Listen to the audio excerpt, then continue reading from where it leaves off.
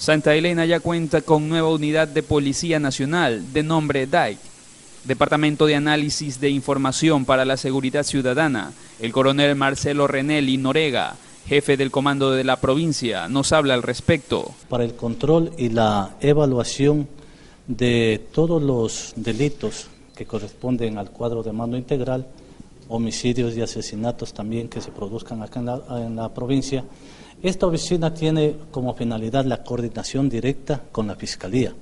La información que, que llega a este departamento es directamente tomada de Fiscalía de las denuncias presentadas y se lleva una estadística actualizada en todo lo que se refiere a delitos y contravenciones dentro de la provincia.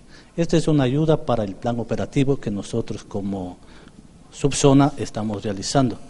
Eh, la información lo tenemos a primera mano y sabemos los lugares, horas, eh, los días en que se producen los diferentes delitos y podemos implementar los operativos correspondientes. El teniente Miguel Álvarez, supervisor de esta unidad, nos da referencias sobre el trabajo que ejecutará y del tipo de análisis. Ayudamos dando estrategias y mediante el análisis de estos eventos hacia mis coroneles que son jefes de distrito o jefes de la subzona, para que ellos, eh, mediante las disposiciones emitidas al, al, resto de personal, pues se pueda bajar los índices delincuenciales y podamos tener una seguridad en general para toda la comunidad. El análisis implica en el estudio del evento ocurrido, quién lo comete, dónde lo comete, eh, con qué tipo de arma, los días que se cometen y todo lo que, todo lo que se involucra en en el momento que ocurre el delito. O sea, desde la víctima. Nosotros estudiamos desde la víctima el momento que ocurre el, incidente o el delito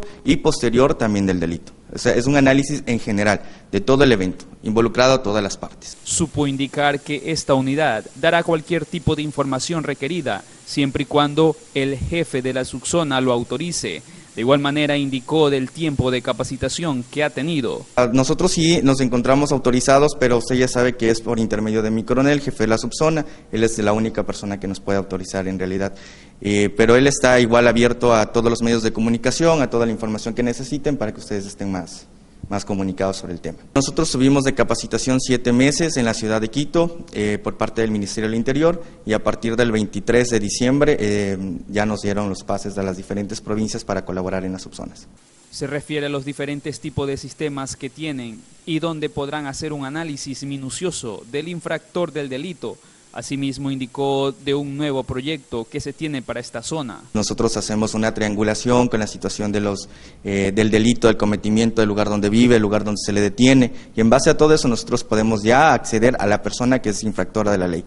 Asimismo, tenemos un nuevo proyecto con mi coronel, eh, con mi coronel jefe de la subzona, también para estudiar el evento que ocurre en el momento de la detención, eh, los señores jueces y fiscales cuál es la situación que toman en referencia al cometimiento del delito.